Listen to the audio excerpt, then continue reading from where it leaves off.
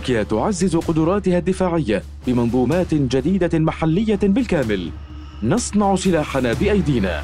عززت الصناعات الدفاعية التركية قدرة الجيش وقوات الأمن بالعديد من الأسلحة والمعدات المحلية خلال العام المنصرم 2021 وطبقا للمعلومات فقد أمضت تلك الشركات عاما حافلا مليئا بالإنجازات وتمكنت من تلبية الاحتياجات المحلية بالرغم من التدابير المفروضة. والأزمات التي تعرض لها الاقتصاد التركي مثل أزمتي سلاسل التوريد والرقائق الإلكترونية.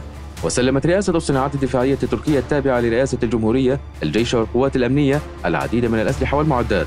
وفي إطار الجهود المبذولة في مجال الصناعات الجوية والفضائية تم تسليم القوات المسلحة الطائرتين المسيرتين الهجوميتين أكينجي وأكسونجر إلى جانب تسليم مسيرات بايركتار تي بي 2 والعنقاء وكارغو. كما أجريت اختبارات ناجحة على مسيرات ألباغو الانتحارية فيما بدأت مرحلة الاختبار على مسيرات بويغا. وبدأ مشروع إنتاج المسيرة المسلحة بايركتار تي بي 3 في وقت تم فيه الانتهاء من التصميم المفاهيمي للمقاتلة المسيرة ميوس. وأتم النموذج الأولي الثالث للمروحية المحلية جوك باي أول اختبار طيران له بنجاح. فيما تواصل تسليم المرحلة الثانية من المروحية الهجومية أتاك.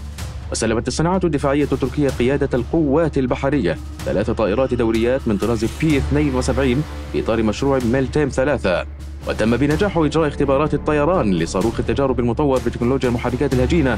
وبدأ تأسيس مركز اختبار وتقييم أنظمة الطائرات المسيرة بقضاء قلعة جيك بالعاصمة أنقرة.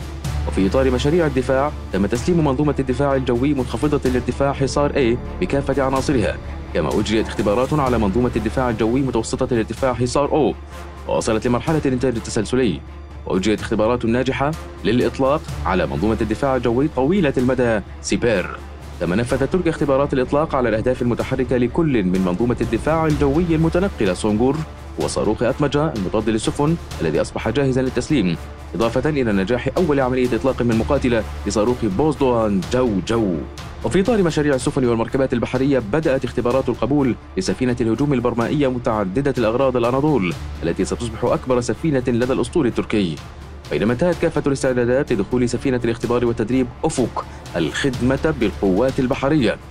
وجرى إنزال السفينة الخامسة في مشروع السفينة الوطنية ميلجيم تي جي جي أول فرقاطة تركية من طراز إسطنبول إلى البحر. كما بدأت مرحلة المناقصة لبناء ثلاث سفن جديدة في إطار المشروع.